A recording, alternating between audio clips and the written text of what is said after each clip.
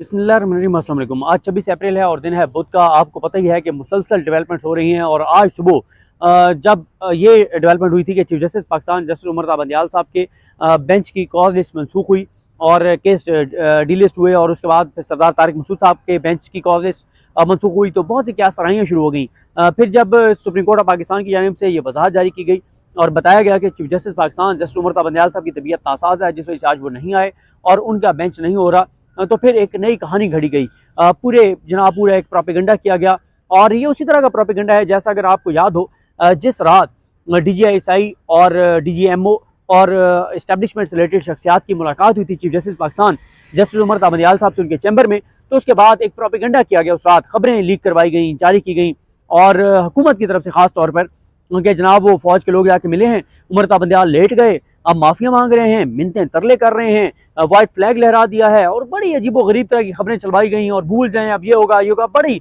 लेकिन जब उसके बाद जिस दिन समात हुई ओपन कोर्ट में बात हुई तो जिस दिन चीफ जस्टिस पाकिस्तान ने वजारत दिफा की एप्लीकेशन को उठा के रद्दी की टोकरी में डाला, उस दिन पता चला कि उमरता बंदियाल साहब अपनी बात पर खड़े हैं, आइन के साथ खड़े हैं और ऐसा नहीं है कि बंदियाल साहब जो हैं, वो डर गए हैं या उनको डरा दिया गया है या कोई डील हो गई है या उन्होंने कोई डील कर लिया ये सारी बातें उस दिन ख़त्म हो गई थी। बल्कि यहाँ तक कि उन्होंने जो वजारत दिफा की एप्लीकेशन उसको नाकाबले समात करार देते हुए सरजनिश की थी वजारत दिफा की की कि आप होते कौन हैं कि आप एक सी एम ए के ज़रिए आप एक एप्लीकेशन के अंदर इतनी बड़ी प्रेयर करें कि हम अपना पूरा अपना फैसला वापस ले लें तो बड़ी सरजनिश की थी उन्होंने वजारत दिफा की। और उसके बाद फिर उमर बंदियाल साहब ने ओपन कोर्ट में यह भी वजाहत की थी कि ये जो मुलाकात हुई थी ये मुलाकात अटारनी जनरल पाकिस्तान की दरख्वास्त पर हुई थी और अटारनी जनरल पाकिस्तान की दरख्वास्त पर D G M O D G I C और ये सब आए थे। और ये भी chief justice Pakistan justice Umar Bandial साहब ने वाजे किया था कि ये जो जो मुलाकात थी, इस पूरी मुलाकात के दौरान मुसलसल अटारनी जनरल पाकिस्तान मौजूद रहे।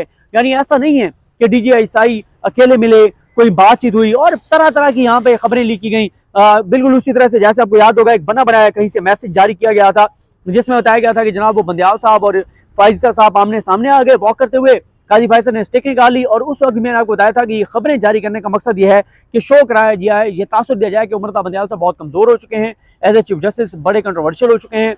बड़े इस हद तक आप उन पर छड़ियाँ निकाली हैं उनकी तस्दीक करने के लिए, उनको कमज़ोर साबित करने के लिए।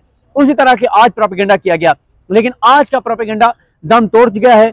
बोल टीवी पर आप पहले ही खबर देख चुके होंगे कि दो चीज़ें जारी हुई हैं सुप्रीम कोर्ट ऑफ़ पाकिस्तान से। एक तो कॉज लिस्ट जारी हो गई है कॉज लिस्ट जो जारी हुई है उसमें ये बताया गया है कि साढ़े ग्यारह बजे कॉन्स्टिट्यूशन पेटिशन नंबर नौ यानी सिप्तान खान साहब की वो जो पिटिशन है वो आ, ये ये नहीं कंफर्म की वो वाली है या सॉरी नंबर में नहीं देख सका बहरहाल ये वो है जो इंतबात एक दिन कराने के हवाले से है और ये इसके ऊपर अब देखना है साथ सुप्रीम कोर्ट बाकी भी टेकअप कर लेती है सताईस सताईस तारीख तक किस तरफ़ फ्राहम करने वाला या सताईस तक क्योंकि टाइम उनके पास तो उसके सुप्रीम कोर्ट जुमे वाले दिन टेकअप करती है लेकिन अब सुप्रीम कोर्ट ऑफ़ पाकिस्तान का तीन रुकनी बेंच कल साढ़े ग्यारह बजे समाप्त करने जा रहा है जुमेरात के दिन। जो दूसरी बड़ी डेवलपमेंट है वो ये है कि अच्छा वैसे बड़े इंटरेस्टिंग है कि रजिस्ट्रार इशरत अली साहब की आ, के दस्तखतों के साथ जो है वो ये जारी हुई है। यानी ऑर्डर तो है चीफ जस्टिस पाकिस्तान का लेकिन जारी की है इशरत अली साहब ने।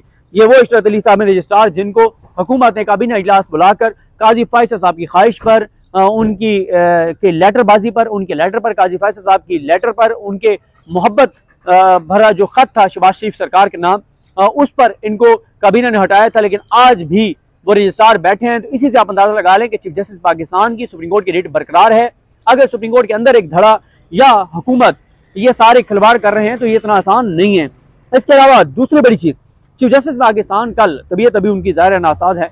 और चीफ जस्टिस पाकिस्तान उमर बंदयाल साहब कल चैम्बर वार करेंगे। साढ़े ग्यारह से पहले वो चैम्बर वार करेंगे। इसमें वाजे हुआ है, जो रोस्टर जारी हुआ है कल का। और इसमें कुछ चीज़ और भी आपको बता दूँ जो कल के लिए रोस्टर जारी हुआ है, इसमें कितने बेंचेज हैं कल? चीफ जस्टिस पाकिस्तान तो कल चैम्बर वार करेंगे और साढ़े ग्यारह बजे आएँगे ये केस सुनने के लिए। इस बेंच में उनके साथ इजाजुल हसन साहब और मुनीब अख्तर साहब हैं। और इस बेंच के सामने दो मामला हैं। खासतौर पर यह है कि मुजाकर के हवाले से उन्होंने बता रहे हैं कि मुजाकर के ऊपर क्या हुआ है। जब मैं ये वीडियो रिकॉर्ड कर रहा हूँ तो अभी क्योंकि पार्लियामेंट के इजलास कौमी असम्बली का इजलास शुरू हो गया था उस पर तो हम बाद में बात करेंगे कि उस इजलास में क्या कुछ हुआ है क्योंकि उसमें आ, कुछ कानून साजी भी सुनाया हो रही है और फिर काबीना ने भी मामला भेज दिया है दोबारा कौमी असम्बली को भेज दिया है इक्कीस अरब जारी करने के हवाले से। लेकिन इसके अलावा जो बेंचेज हैं बैंक टू में जस्टिस एजाजुल एहसन साहब हैं जस्टिस अमीनुद्दीन खान साहब हैं और जस्टिस जमाल खान मंदोखेल साहब हैं। ये है बेंच नंबर टू जो केसेस की समाप्त करेगा। बेंच थ्री में जस्टिस सैयद मंसूर अली शाह साहब हैं जस्टिस आयशा ए मलिक साहब हैं और जस्टिस शाहिद वहीद साहब हैं। Bench three, sorry, bench three था ये। बेंच फोर में जस्टिस मुनीब अख्तर साहब हैं, जस्टिस सैयद मजहर अली अकबर नकवी साहब हैं और जस्टिस अतर मिनल्ला साहब हैं। उसके बाद जो स्पेशल बेंच हैं, बेंच टू जो है, वो एजाजुल हसन साहब, अमीनुद्दीन खान साहब और जमाल खान मंदोखेल साहब पर है। ये है साढ़े ग्यारह के बाद और इसी तरह से बेंच फोर जो है, वो जस्टिस मुनीब अख्तर साहब, जस्टिस मजहर अली अकबर नकवी साहब और जस्टिस अतर मिनल्ला साहब पर मुश्तमिल है। और इसी तरह से कराची में जो बेंच है, कल वो जस्टिस मोहम्मद अली मजर साहब और जस्टिस सैयद हसन अजहर रिजवी साहब। ये बेंचेस हैं और ये जारी हुआ है।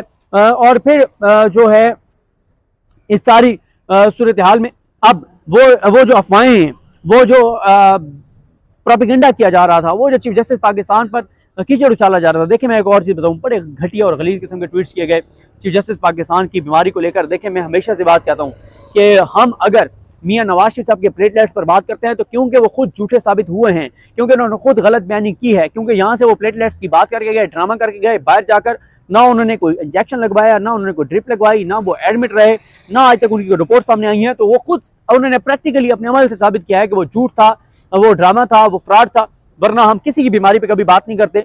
और अभी देखें कि बंदयाल साहब की बीमारी के ऊपर उनके बीमार होने पर जिस तरह के ट्वीट्स किए गए कोई नहीं अपने वो, असल में मसला ये है कि ये हुकूमत, इस हुकूमत के बेनिफिशरीज इस हुकूमत के साथ जिनका सर्वाइवल है, वो सारे के सारे अपनी अपनी ज़ाती सर्वाइवल की जंग लड़ रहे हैं।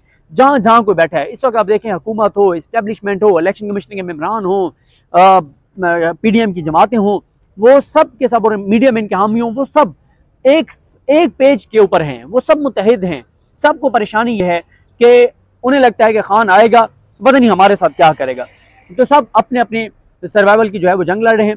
ये दो बड़ी डेवलपमेंट सुप्रीम कोर्ट से हो गई हैं।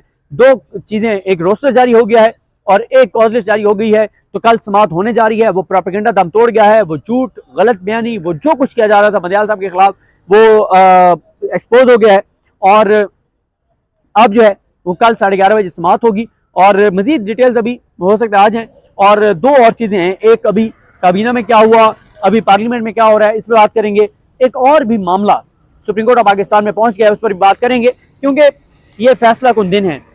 जुमेरात, जुमा और उसके बाद सोमवार, मंगल। मेरा ख्याल है कि इन चार दिनों में वर्किंग डेज़ में फैसला तो ये चार दिन है जो मैंने आपको बताया, जुमेरात, जुमा और सोमवार, मंगल। इन चार वर्किंग डेज़ में पाकिस्तान की आइंदा की सियासत का रुख का तयन हो जाएगा मामला पता चल जाएँगे कहाँ जा रहे हैं। कंटेम्प्ट ऑफ़ कोर्ट की कार्रवाई होती है, नहीं होती।